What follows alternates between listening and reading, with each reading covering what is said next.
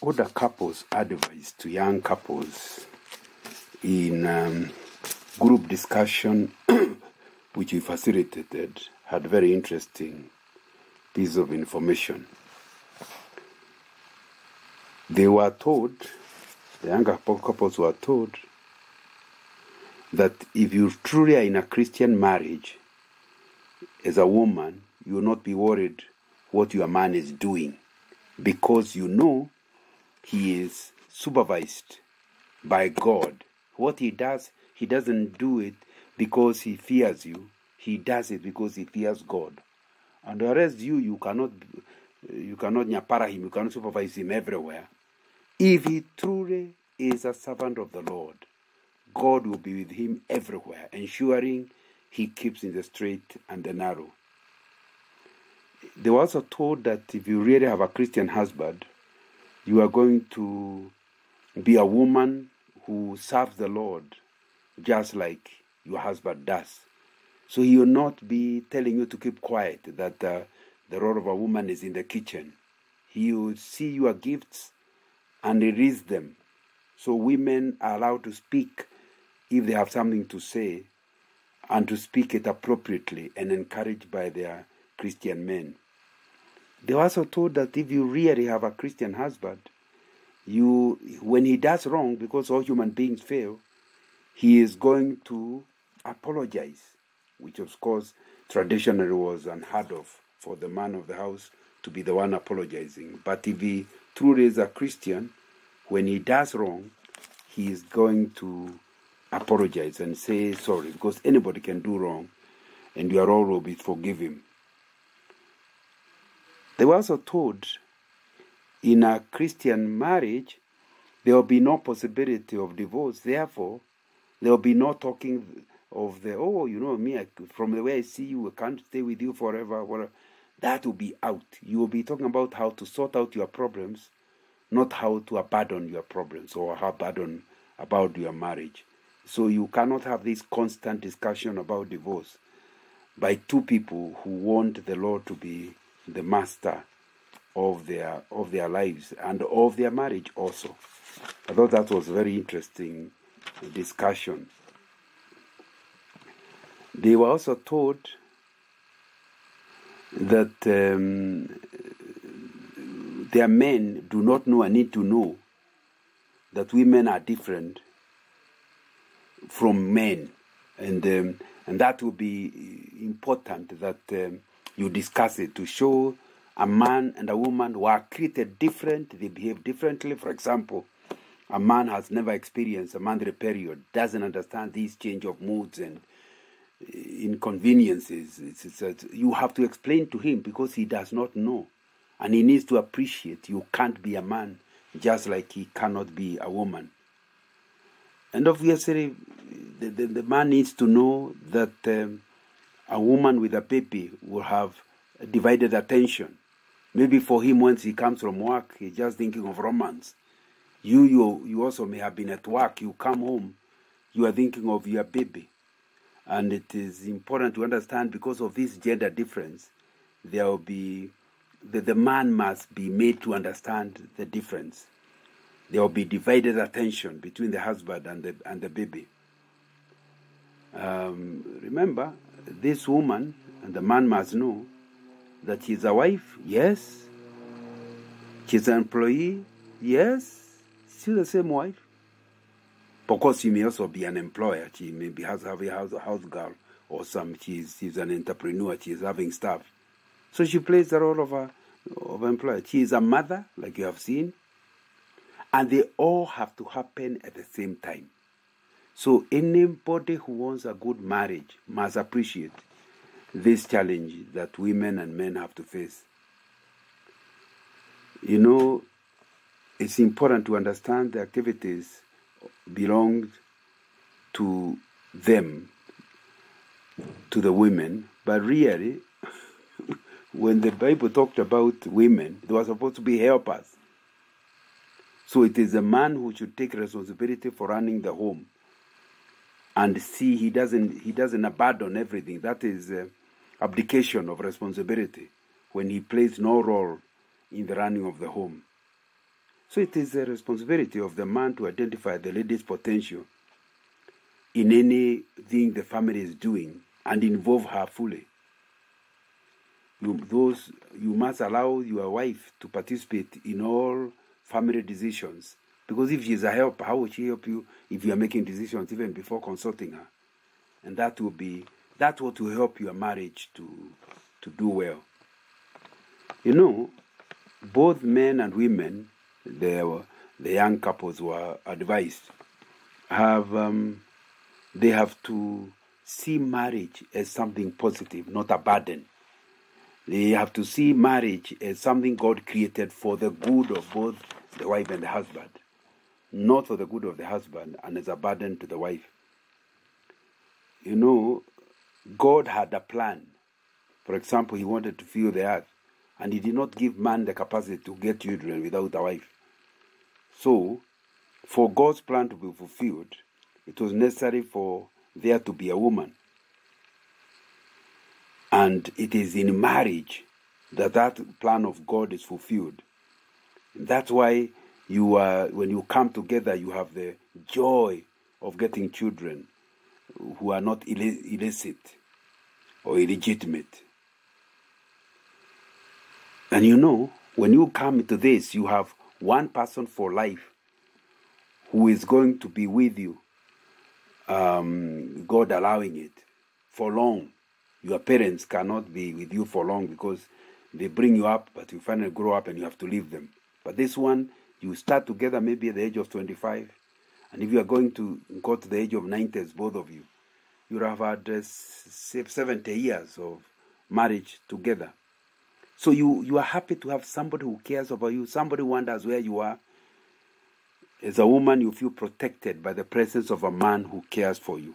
That's a blessing that there is in, in marriage. So God wants you to, wanted you to feel that protection. So He gave you a chance to be involved in a marriage.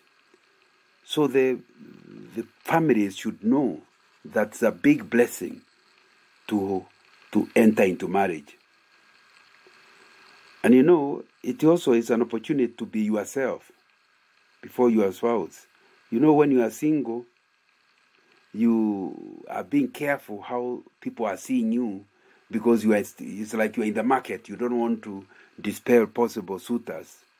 But you get married and you can be yourself with your husband because he accepts you the way you are. You can be like yourself as a as a wife or as a husband. And I think that's a fantastic thing to it allows you to relax without having to do any drama. Um, it says, by the way, it's the same when you're in the office, all the other roles. You have to be careful. There's some diplomacy you have to play. And sometimes people don't want to know the real you, they want you to play games. Only to come home and you can be yourself and you have somebody who understands you and accepts you the way you are. And I think that um, that that is a very very important thing to understand. And so the, so the the young couples were supposed to understand that marriage is a blessing, it's a gift God gives.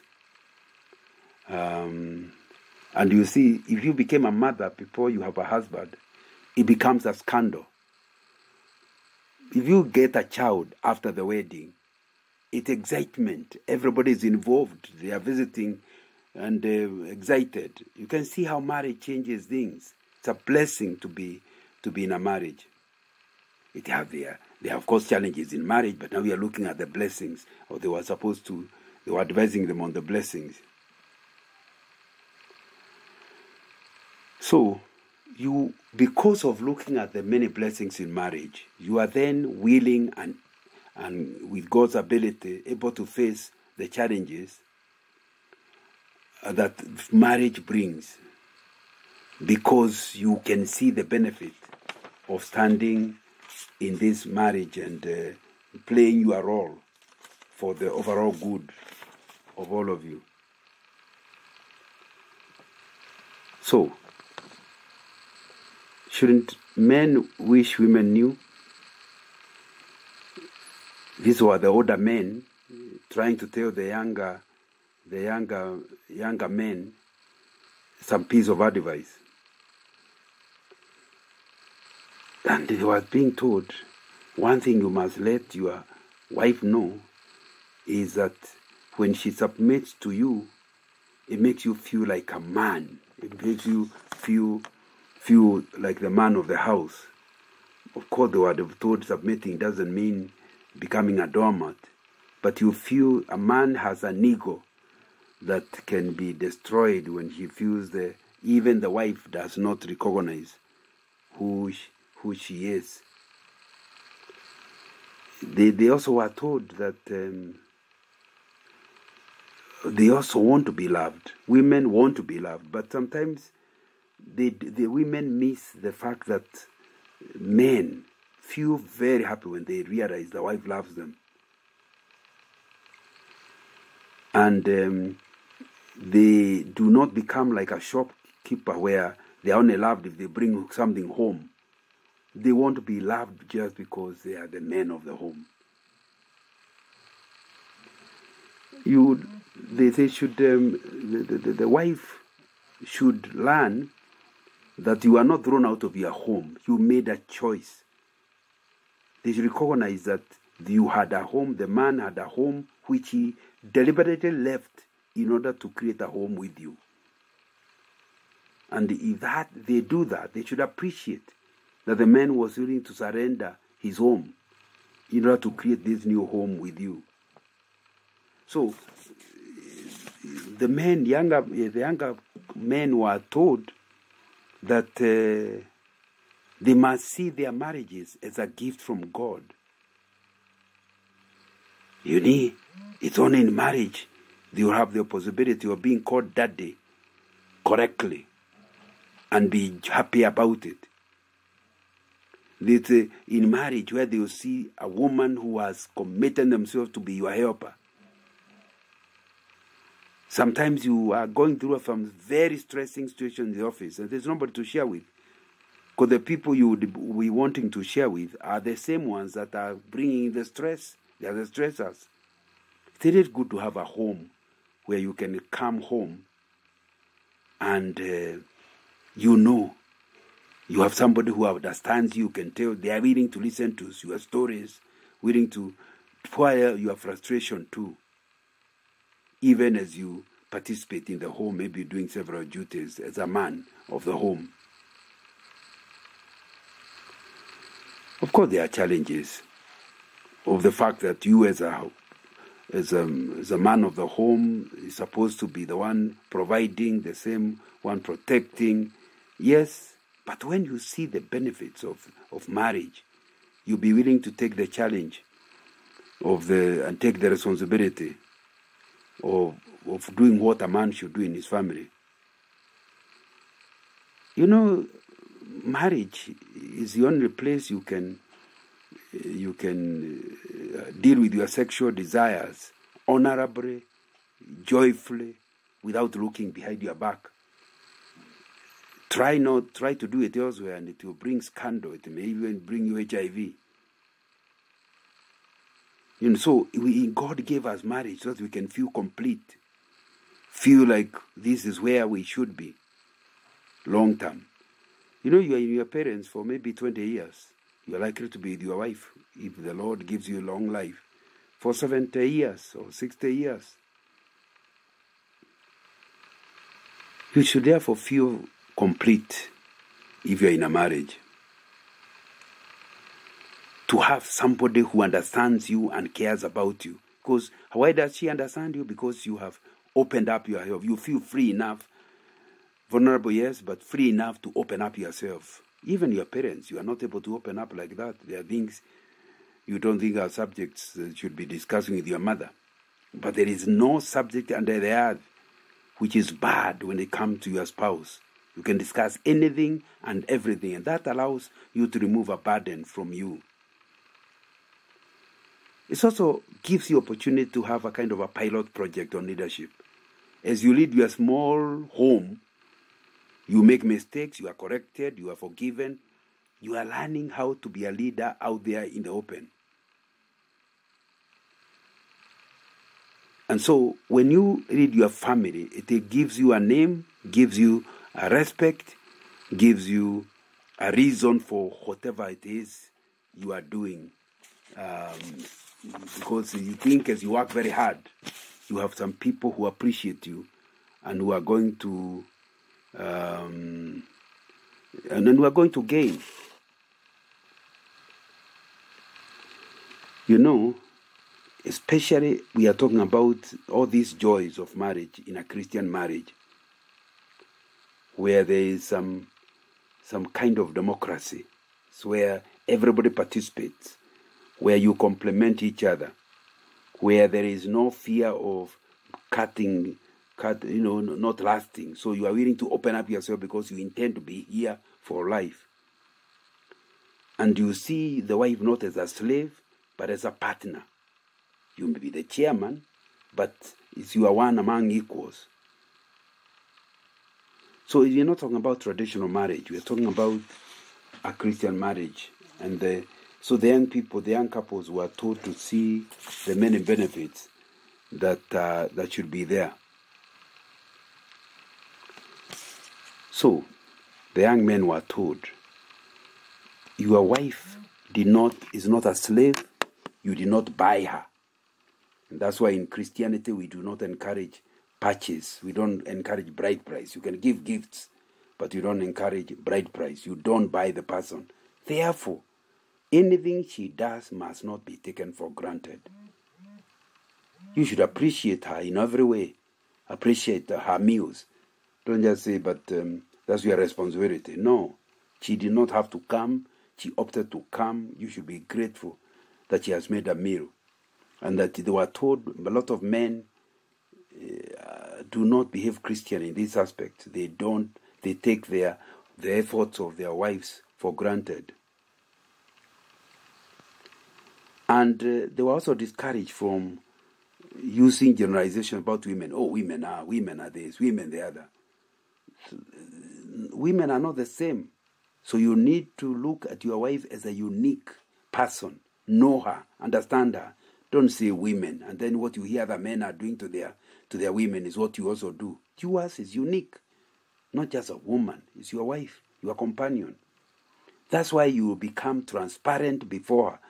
Even if the other men are not transparent, you as a Christian man, you'll be transparent, open to her. As a man, you shouldn't be having secrets you are hiding away from your from your wife if you really want a good Christian marriage. You should also open up to talk about any problem rather than uh, give the silence treatment where you have a problem but you don't say it. And even when you say it, you say it to your friends. You don't tell the person whom you think is causing the problem. So you can't sort out a problem before you discuss it. But you also need to accept what you are told in discussing a problem. Accept, adjust to the new changes so that the one problem does not get, you don't debate one problem all the time, even after you sorted it out. It's also important to, as a man, to know you are the provider. But do not expect your wife to explain every shilling she uses. There must be contingency money he, he can use without having to explain. You also need money, little money, of course, but uh, so your wife needs not to be suffocated into into into confusion. Let her have some freedom with some money she can use for her personal use, and that will allow your wife to do things. There are major issues we must all budget together, but you need some some level, some breathing space. Tina also may need a time to be with her friends. Not too much time, but time to be with her friends, other women. You also need to know that um, her view of beauty is not like yours. That when she beautifies herself, it's not lost cash. It is that she's trying to be the woman you can be proud about. So you should be willingly funding the, those kind of things because that's a woman. Of course, you you just have a shower and you are okay with, but uh, that you are not a woman. So the young men were told, think about it. Even the Bible talks about the beauty of women, and it costs money. But in order not to overspend, it will be important that your wife knows how much you earn. You also know how much he earns and that you budget together. So that he now knows that if this hair is made for is made for a thousand shillings, we may be left with nothing to eat. I'll go for where it is only five hundred shillings. It will be important that um, that is understood uh, clearly. And um, you need to accept when you are wrong. The young men were told um, by not taking your wife for granted. And I think that will be important. And also, do not accept, do not require unquestioned obedience by a wife, even if she is submissive to you. She needs, her voice needs to be heard. And obedience should only come after due consideration and discussion. So you must give and you must be available to your wife both quantity and quality. Some people only give quality. Ah, I'm not available, but when we are together, I'm, I'm like this, you know. Your wife needs both quantity of time and quality of time. It will be important that that is that is that is something you are aware of and you spend time on. The older, the, younger women were also told by the older women that there is a necessity of appreciating men. Don't take your man for granted. Whatever he does for you, of course he does it because he loves you, but please appreciate them. If appreciation encourages the person to keep doing what they have done. So acknowledge that the man the man is available. When he comes home, don't complain all the time you come late. What about there are men who don't come home at all? So appreciate that they have come. Then at an appropriate time, say, Is it possible you can come earlier? And one of the things men hate is to be compared. Oh, oh, oh, oh, that is terrible. You are not like Baba so and so. You know your younger brother is even better, was told by his wife he does this and this to her. That's a no go zone, my sister, they were told. Do not compare your man with any other man. It's wrong. If you have something to suggest, suggest it without necessarily comparing. And that's and, and also men, they were told men want to deal with you, not with the house girl. So do not delegate a wife's duty to a house help. Otherwise you might lose the man and you say he's backsliding, but you are the devil used you to force him to backsliding. So you need to tell your house girl there are certain things she cannot do for your for your for your husband. The, the, the younger women were told. The other thing the, the, the, the women were told do not start having a kind of a relationship with your relatives that your husband is not aware of. So you are building a house for your mother and your husband is not even aware. Obviously, he will feel cheated, and that could bring down your marriage. So do not assist your relatives without your husband knowing and participating. After all, where would you have gotten the money from if you agreed that all the money belongs to both of you? So anything you do, you must avoid suspicion. Do not create a, a, a room for mistrust where the the, the, the, the, the, your husband will no longer trust you because you lied. That's why, right from before marriage, come open. The things that would make him unhappy, tell him in advance. Let him rise up, get disappointed, but realize you are walking in the open. That way he knows there's nothing you're hiding because you have told him even things you never have discovered. And the younger women were told men are seem to be more interested in sex than women are. So therefore, you have to make yourself available even when you have you don't have as much interest because you understand you are dealing with a man and you are there available for him. So they were told to understand that difference that seems to be natural. And uh, generally speaking, women are said to be bad timekeepers, and uh, that can get into the into the man. So it's important to explain that I will not come quickly because I'm doing this and this. Why don't you give me another one hour? Don't promise to be available at eight. Then at nine o'clock you are still not not there, not available, not on not on time. And there are many things. All these things were pieces of advice that the, the young couples want to to learn. So what what was what did the seminar finally come up with? That marriage is for life, and if you want it to be to run well, you have to invest. Both the wife and the husband, they have to invest. And because marriage is for life, it means you can forgive and overlook small bits of time when there is strain because you are looking long term. And over long term, you have had a good marriage. But what about uh, if a husband dies? If a husband dies, scripturally, according to 1 Corinthians chapter 7, verse 39, the lady is free to marry anyone. She doesn't have to continue being in the husband's clan. She can marry anyone, but he must be in Christ's clan. Husband must not require the wife to, after once he is dead, he should not try to manage the wife who is still alive.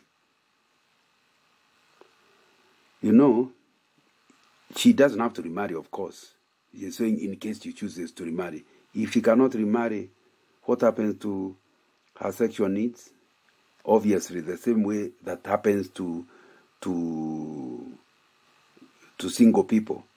Sex is not like oxygen. So do not feel like you must remarry and you end up in a total mess because of the kind of people you have married in a hurry. Because sex is not like oxygen means you can do without it. It's good if it is there, but you don't you will still survive even without it. So if you the, the, the seminar therefore emphasize that because you want to, to together for life, not just a part of the time, but for, for life, then you need clear methods. Three things. Number one, be clear what you want to achieve as a couple. Number two, learn what makes the other person unhappy so that you avoid it. Number three, agree when there is no quarrel. Agree on a way of resolving conflict. And as you seek to resolve conflict, what will happen is that you will be able not to get the conflict to ex- escalate. Because after all once the conflict comes you agree. One of the most important things in conflict resolution is find out what type of conflict is. It is it a content conflict. Then don't quarrel just look for the information once the information is available the quarrel is over if you are quarreling about where the money is just just just just show where it is. Don't start accusing someone on a, on a matter that can very, very easily be verified. So agree what type of conflict. But number two, agree that whatever you're having conflict about should not be something that comes between the two of you. You must, the two of you, come on one side and then look at the conflict, both of you. So don't say you against me it should be this is a conflict. Which is the best way of sorting it out? Your mother needs money. The two of us, how can we deal with that matter? Rather than what's wrong with your mother? It needs you need to find a way of coming on one side and putting the issue that's bringing the conflict on the other side and then tackling it together. Most important is to understand that even after the end of the conflict, you are still going to be together and therefore you do not want to say something you are going to regret. You you help. So those are some of the things that um, older couples would like to share with younger couples, whether it's a young husband or a young wife, from their experience. And I thought I should share them with you. and uh, hope that you also will take time to share your experiences that help your marriage with younger couples.